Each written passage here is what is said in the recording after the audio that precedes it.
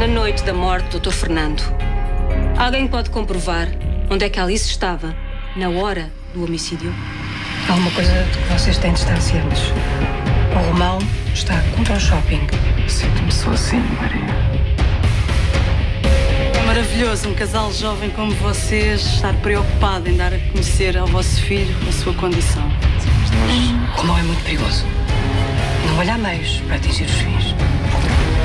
Precisas de ajuda? Não, só preciso passos na escola para pagar. Isso é que é o mais importante. Está bem, eu vou despir o fato e já lá vou pagar? Acredita em mim. Duarte! Não quero falar! Onde é que eles vão? Não, deixa estar, deixa não, estar, não, não, não, estar. não, Duarte, Duarte! Estou um bocadinho farta de tomar todas as decisões sozinha. Estás sozinha, Vera. Duarte, Duarte, o que é que se passou? Ficamos sem gasolina.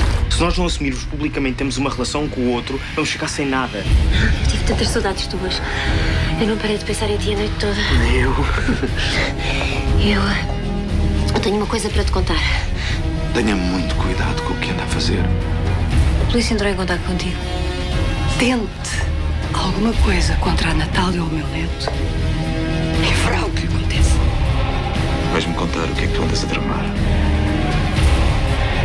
dizer ao polícia que estive contigo naquela noite. Desculpa.